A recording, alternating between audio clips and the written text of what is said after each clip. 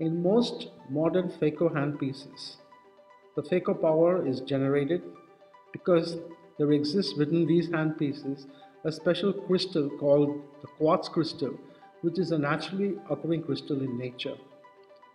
Now, the peculiar feature of this crystal is that when it is rapidly expanded and compressed, it can generate a voltage of current. These piezoelectric crystals are now available commercially and used in a phaco handpiece. In the phaco handpiece, a reverse piezoelectric effect is generated as the current is fed to these crystals. The crystals will vibrate at ultrasonic frequency. This frequency is transmitted to a hard titanium tip. Ultrasound. This is probably the reason why many of us refer to it as ultrasonic phaco and ultrasonic energy. But the reality is the energy generated is by two effects a mechanical effect, this is the jackhammer effect of the movement of the tip, and the second is the cavitational effect, which is more important. The rapid to and fro motion of the titanium tip creates a vacuum in front of it that causes small cavitational bubbles to be generated. Now these bubbles will implode at the speed of light releasing tremendous amount of heat 10,000 degrees centigrade and very high pressures of about 1000 atmospheres. And this is the reason why emulsification occurs. So what you see is the cavitational effect of a rapidly vibrating phaco tip. And the jackhammer effect actually breaks the nucleus down into smaller chunks and it is not the most significant effect of phacoemulsification. The cavitation bubbles, when they burst, can release tremendous amount of energy. Contrary to popular belief, it is not ultrasound energy that we use in phaco but rather cavitational energy. Another false belief is that many people think that when the phaco power is increased, the vibrational frequency of the crystals will increase. But this does not happen. What really happens is there is an increase in the excursion of the tip, known as a stroke length. At 100% phaco power, the tip moves to about 100 microns, and at 50% phaco power, it moves to about 50 microns, at least in the Stellaris machine. Stroke length is measured in milli inches. Now that we understood about how the power delivery happens, there are three significant modes of these power delivery. One is the continuous mode, the pulse mode and the burst mode. And by default, they're almost always set to function in a linear fashion. Now the continuous mode is uh, the most, most basic mode where power is continuously delivered. It is used for trenching primarily and sometimes in very hard cataracts can be used to impale the phaco tip. This is how it sounds.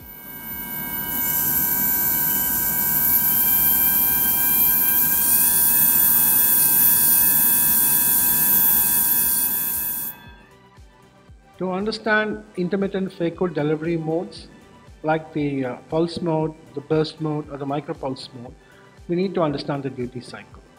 The duty cycle consists of an on time, uh, which is known as the duration for which the phaco power is on, and an off time, which is known as an interval in which the phaco power is off.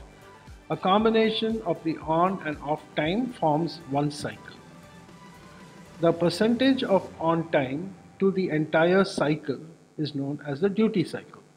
A 30% duty cycle means that for one second, the total on time is 300 milliseconds and the total off time is 700 milliseconds.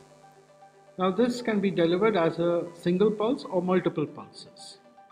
A standard pulse mode will always have a duty cycle of 50% and the number of pulses can vary from 1 to 20. In a micropulse mode, the duty cycle can actually vary from 10% to 90% and the number of pulses can vary from 1 to 120 pulses per second. A longer off time will help not only in reducing the net phaco power but will also help to increase the holding ability of the phaco tip.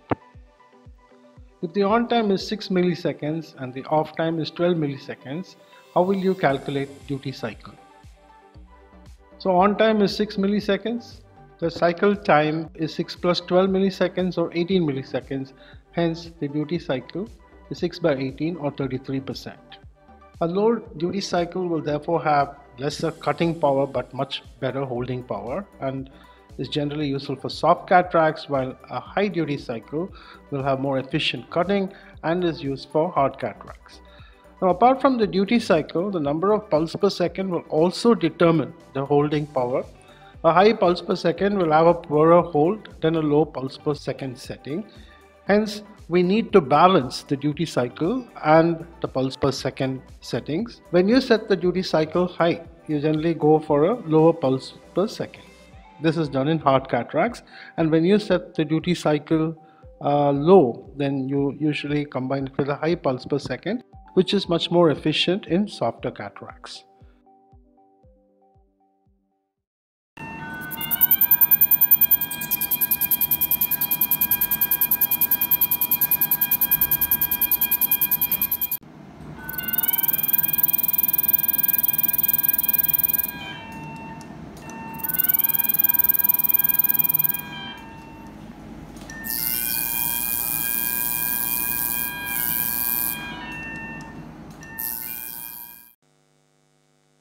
This unique feature of being able to change different duty cycles for various levels of pulse per second settings is a unique feature of the micropulse mode also called the cold.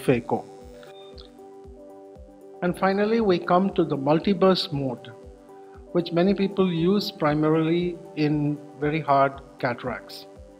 So what exactly is the multiburst mode? It consists of multiple bursts and each burst opens at the maximum preset power. As you press linearly, the bursts come closer together. Each burst has a duration which can vary from 4 to 600 milliseconds. This is usually fixed. And a burst interval that starts at 1.2 seconds in the Stellaris machine progressively decreases so that it can either become continuous or just come close together and we can adjust this by adjusting a duty cycle. Setting the duty cycle at 100%, the burst mode becomes continuous towards the end and at 50% it becomes like pulse phaco.